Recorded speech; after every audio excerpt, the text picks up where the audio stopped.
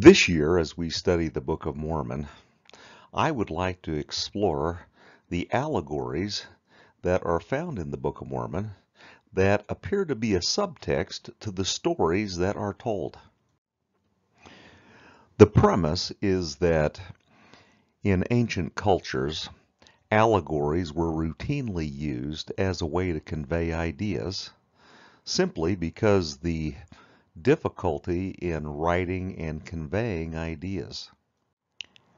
As we read the Book of Mormon this year, I would invite you to consider the allegories that may be associated with some of the stories that are outlined in the Book of Mormon and see if doctrines and ideas are taught that are not readily available on the surface.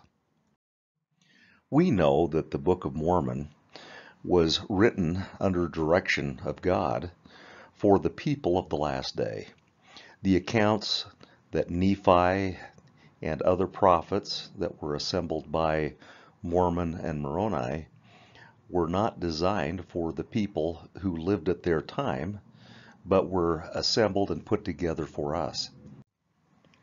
Prophets throughout history have referred to themselves often as being wanderers in a strange land as we look at Mosiah 13:23, we have the reference that where it says that we cannot err, and this because of our being wanderers in a strange land.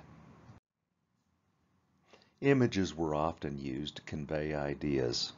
We have many of those images that are consistent through Scripture that include things like the tree of life, vineyards, and other images that were designed to convey ideas that oftentimes we in our contemporary society, being pretty literal in the way that we see and observe, misunderstand or, or lose some of the meanings that may be associated with some of these images.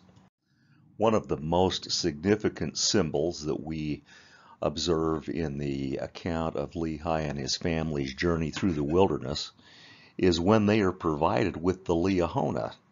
It's not until we have Alma explaining to his sons that we get some glimpse into the symbolism associated with the Liahona, where it says, Now my son, I have somewhat to say concerning this thing which our fathers called a ball or a director. Our fathers called it Liahona, which is being interpreted a compass, and the Lord prepared it. And behold, there cannot any man work after the manner so curious a workmanship. And behold, it was prepared to show unto our fathers the course which they should travel in the wilderness. And it did work for them according to their faith in God. Therefore, if they had faith to believe that God would cause those spindles should point the way they should go.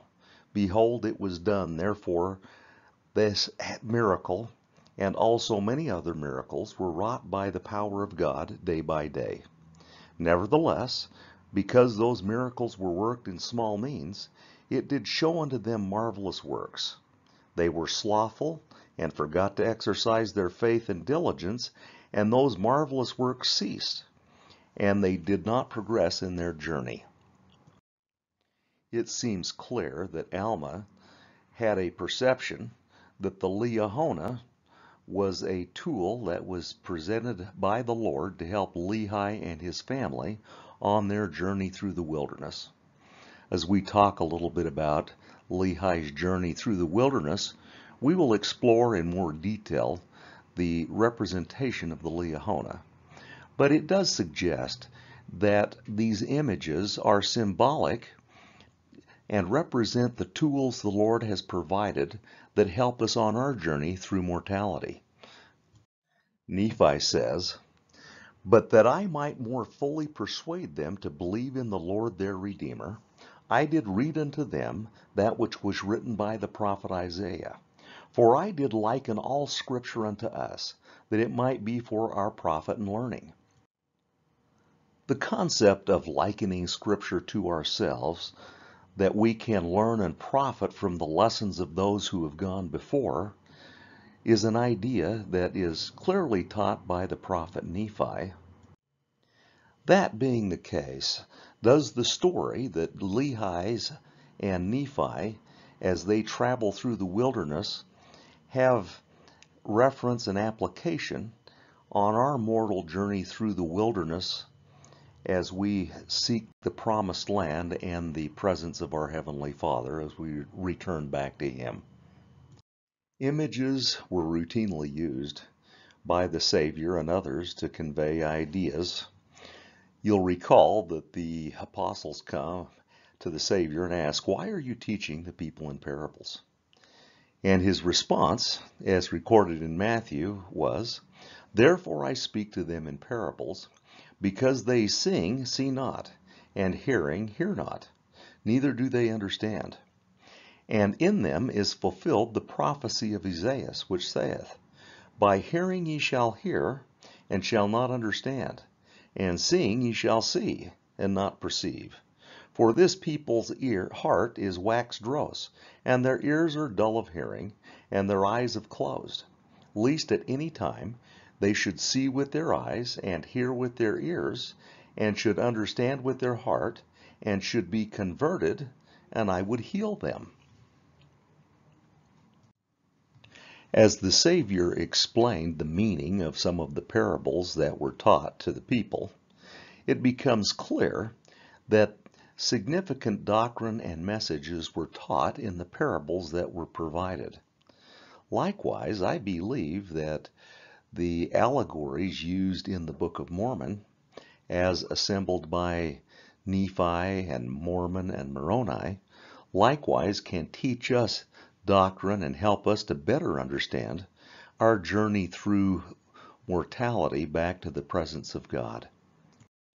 Let's look at Lehi's journey with his family through the wilderness to the promised land, a land of inheritance that the Lord has promised them for being righteous.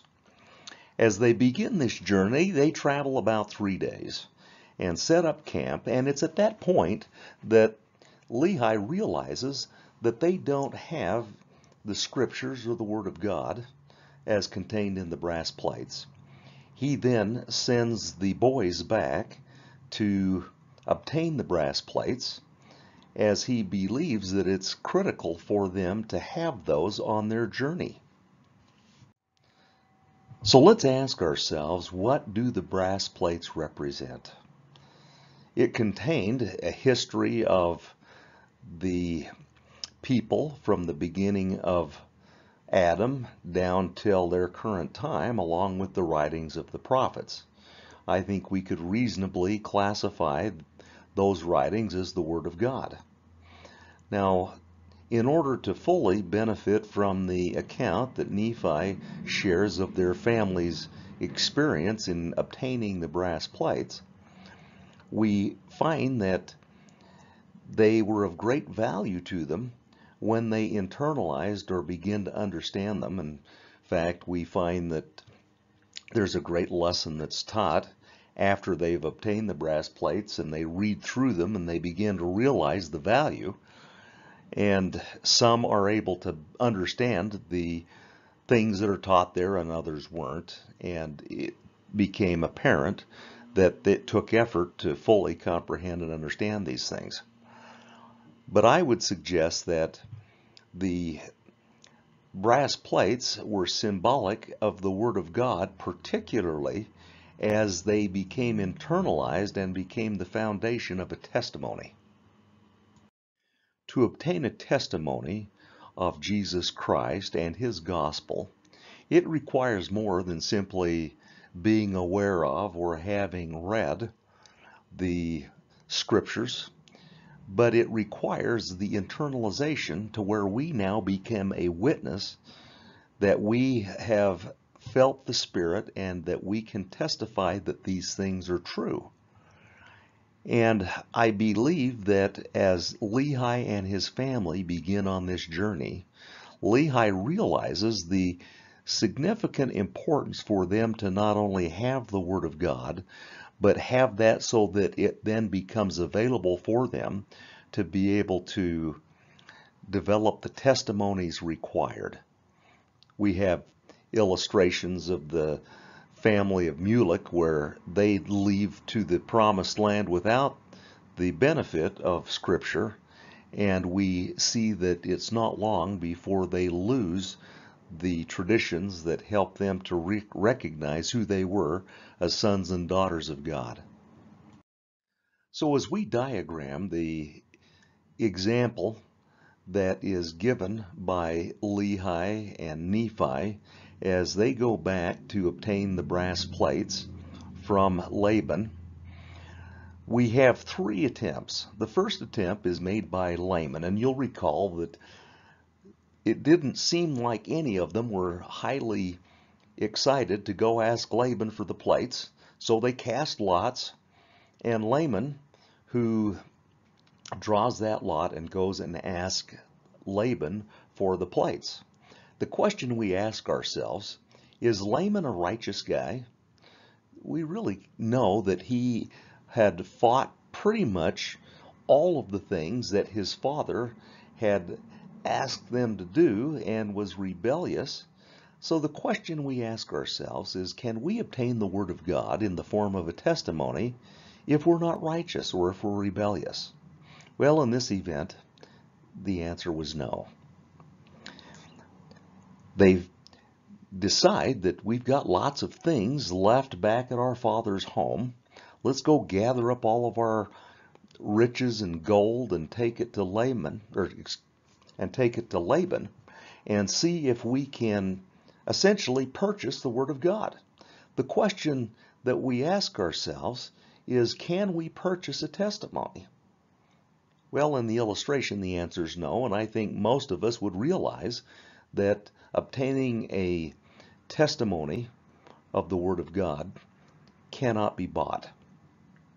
Finally, we have the altercation Laman and Lemuel are very unhappy. They begin to beat Nephi. An angel intervenes. Nephi, being undeterred in fulfilling the assignment that he believes is from God, says that he went being led by the Spirit, not knowing beforehand what he should do. Do, you, do we believe then that obtaining a testimony, the Word of God, can only happen when we're led by the Spirit. The second part of the story is with Laban, who is a member of the church. He has the Word of God, but we know that he is not faithful. He seems to be wicked. And in this case, Laban, having had the Word of God, is killed by Nephi. And the plates are taken from him. In other words, we could extrapolate that to re reflect the possibility that if we have the Word of God and we're wicked, we're not righteous, that we suffer spiritual death and the Word of God is taken. We have several accounts. There's a really good account in the 93rd section of the Doctrine and Covenants, which talks about how we lose light and knowledge as we wander from the path of righteousness. For me, changing the perception of the account of Lehi and his family's journey through the wilderness as an allegory of our journey through mortality and trying to understand the events that Nephi shares with those who will be reading this account in our day can help to gain some insights of how we can negotiate our journey through the wilderness. The symbols that are presented in the account that Nephi provides and later in other accounts throughout the Book of Mormon may provide us with some tools that can help us better understand the influence of the Lord in our lives.